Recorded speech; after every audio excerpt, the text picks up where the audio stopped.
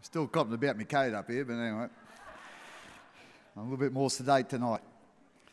Um, I'm basically up here uh, tonight to pay tribute to one of uh, the Melbourne Storm's favourite sons, uh, who won't be with us next year. Will Chambers has been with the club for 11 years. Uh, and during that 11 years, he's made one, one hell of a contribution to our club, on and off the field. Um, we'll come to, to the full time squad in 2007. In 2008, he was a regular in the first grade side. He had a few rough edges to him in his first couple of years, on and off the field. So it took a little bit of time and a little bit of attention uh, to smooth those rough areas out. But he was always, right from the start, always very popular member of the team, but also everyone in the club loved him. He was a, uh, a very likeable larrikin in those days. In 2000, as I said, in 2008, he became a regular um, of our team, and unfortunately uh, missed the grand final. He had a little accident at training where he done his ACL. It was after training actually, and um, you know really unlucky. And as you can imagine, he was de- devastated to miss you know the grand final in 2008. 2009, um, he played in our grand final, winning the side against Parramatta, and um, I think at that stage we thought, you know, we've got a real, we've got a real good one on our hands here. But Will, as he had a couple of times throughout his career, he had a niche and it needed scratching. That itch was rugby union. He played rugby union um, at school in, in Queensland. And um, I think that's where Peter O'Sullivan, I think at the time, was our recruitment manager. And he saw Will playing uh, you know, rugby, rugby union at his school, and that's where he signed him for. So Will always had that, I suppose, that itch that he still wanted to give rugby union a go, even though he was highly successful with the Storm at that stage. So, as I said, that itch needed scratching. So, Will decided to leave us at the end of 2009 and join the Queensland Reds and uh, played some footy with the Reds. And then he, he went overseas and, and played with um, Munster in Ireland. That's a club called Munster, not Cameron. And um, but after the uh, the itch was scratched, he decided that you know, he wanted to come back to rugby league, and um, you know, and decided he wanted to come back to the Storm. So we were very very happy to have him back. Throughout his career, you know, Will's played in five grand finals for the Storm. He's played in three winning grand finals. And there's a couple of those games that really stand out to me and I suppose shows some of the traits of Will. Um, in 2012, um, I remember we played a game over in New Zealand and um, when he was coming home, he, he, he had a rash um, on his arm.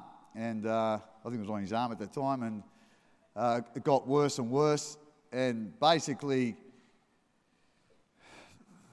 the medical people really couldn't find out what was the problem. Um, he had a blood disorder, as it worked, turned out, but they thought it was a whole heap more serious than that at the time. And I think you know he spent a fair bit of time in hospital. Um, you know his mum and dad come down from the Northern Territory. I think he missed about seven or eight games before you know they find out they found out you know what was wrong with Will. Uh, so he had a very disrupted season, but he come back into the team, and in the grand final, um, I remember pretty clearly that week. Uh, obviously, we were playing the Bulldogs, and um, Ben Barba, who was in unbelievable form that year, we actually changed our our defence in the week leading up to the grand final on our edges, and Will was a, a big driver of that. And even though it was something that we really hadn't done consistently that year, um, especially our right hand side where Will and Sisa were. They done one hell of a job on Barba and you know all the all the players around him. So he played a, a huge part in that win.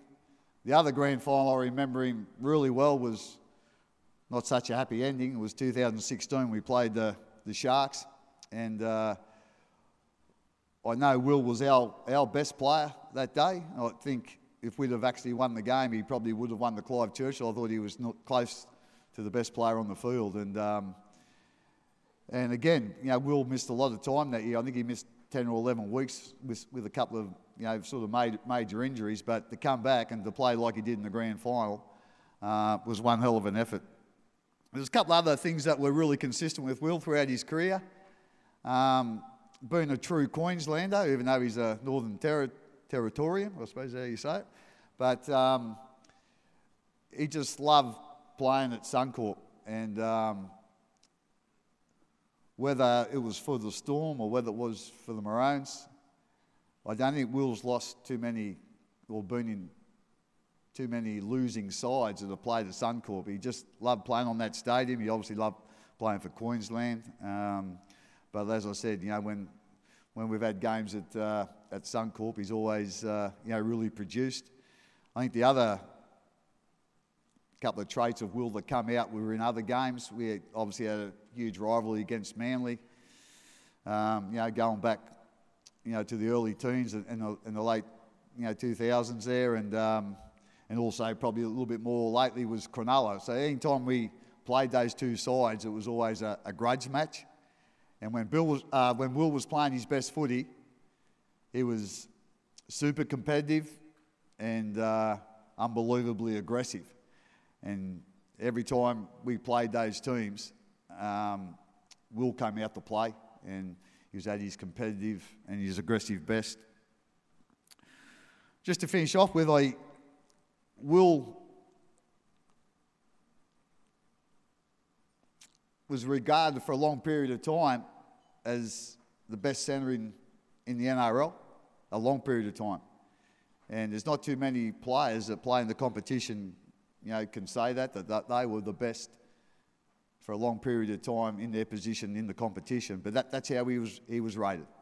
He was rated the best NRL centre, you know, for a, a long period of time. Last year, he was picked in the Storm's best ever team. You know, that's 20 years of, of Storm's history, and you know, as I said, he was, uh, you know, basically the first centre selected. So he's been one hell of a player for our club. Along the way, he's had some wonderful support from his family. Um, his dad, Don, his mother Karen and his little brother Donny Jr. they've always been there to support Will all the way um, throughout his career, but throughout his life. And all the big moments in his career, um, his mum, dad, and brother have always been there, and they've always been there for him. Just a little bit after he come back to our club, Will found a, another family of support. And, you know, they've been wonderful support as well. Bianca has been a, a real favourite of, real favourite partner of everyone at the club. She's just such a lovely lady, and again, her support for Will has been unwavering.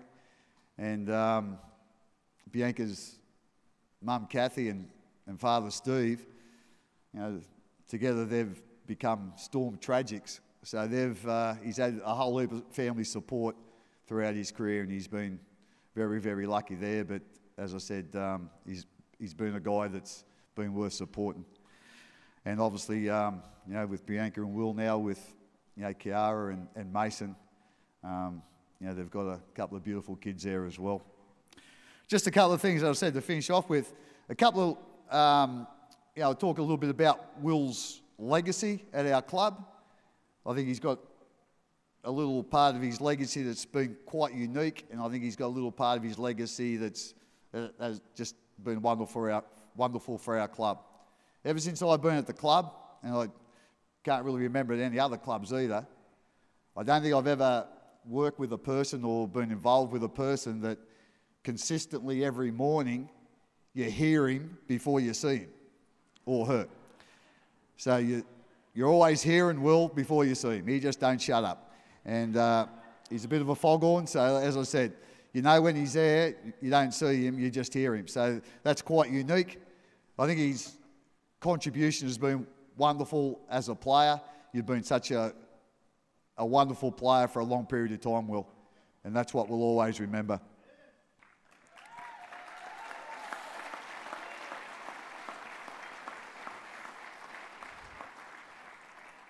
Will played his 200th game this year, and um, I suppose it, um, again, unique, and he played his 200th game for the club at Suncorp, and uh, it was against Parramatta, and we had a one hell of a win that night, so that was pretty typical of Will. And at this club, when you play 200 NRL games, you become eligible for life membership. So Will really honoured and just so glad that I'm still here to be able to announce that you've got life membership of the Melbourne Storm Rugby League Club. Come on up, mate.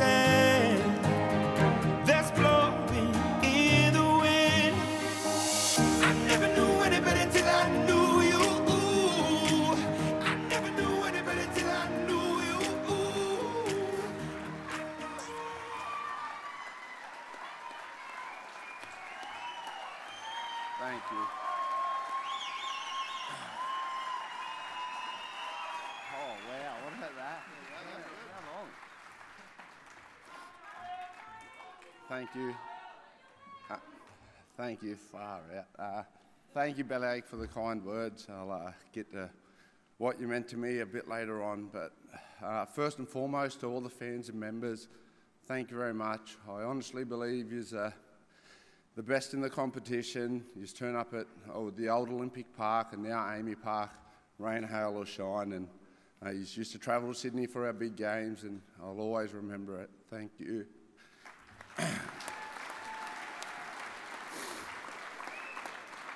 Uh, to the owners of the footy, to the owners of, thank you, Bart. Uh, to the owners of the footy club, Matt, uh, Gerry, and Bart, uh, not only have you created the best organisation in the NRL, but I think you've created the best organisation in Australian sport and should be really proud of yourselves and thank you very much. Thanks. Uh, to Frank, the footy department, um, the, the, medical staff, and who's the other one? Performance unit. Uh, thank you very much for everything. I know I can be a pain in the ass at times, but thank you for getting me on the field week to week and uh, putting up with me at times. But thank you.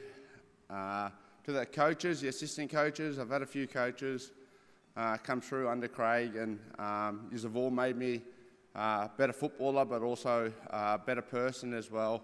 So thank you and all the best next year and the years to come. Uh, to the boys and the playing, the playing squad, um, thank you so much. Uh, you make every day so enjoyable for me. Uh, I'm going to miss it. I'm going to miss pulling that purple jersey on with you boys, but yeah, I, um, one thing I ain't going to miss.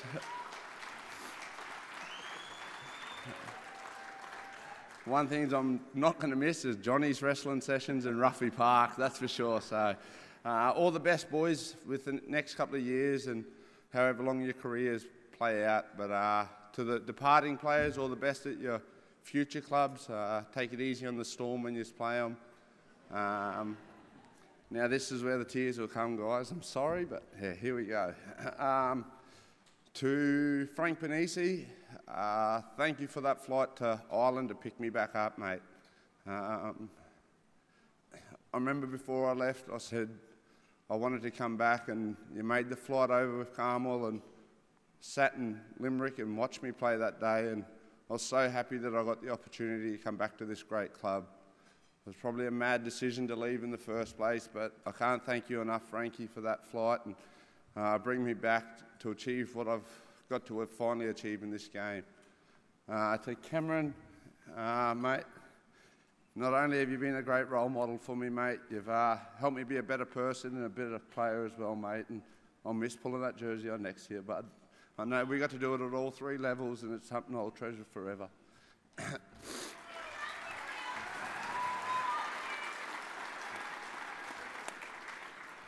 Uh,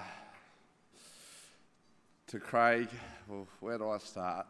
As you said, I come down here as an 18 year old mate with uh, more than a few rough edges. Uh, I'm leaving as a 31 year old father of two. So, mate, enough said there. Uh, you're a, a footy coach to me, a mate of mine, but more importantly, you're like me dad. So I can't thank you enough for everything you've done. And the person you've created me into being. So thank you, Bellyache.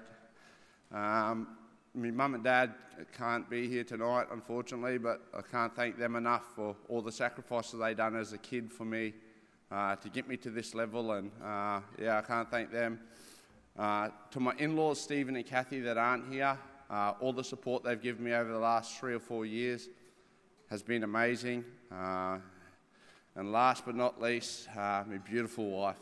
Um, I know sometimes at home it feels like we've got three kids, but uh, I guess, yeah, hopefully now that we're leaving, I'll, uh, I'll grow up. But uh, I don't know that'll happen. But uh, thank you for all your support. Uh, I know I'm a bit of a roller coaster at times, and footy's a roller coaster, but you've stuck by me to the end, and I love you and thank you. Thank you, everyone. And so, what's this one about? What's this one?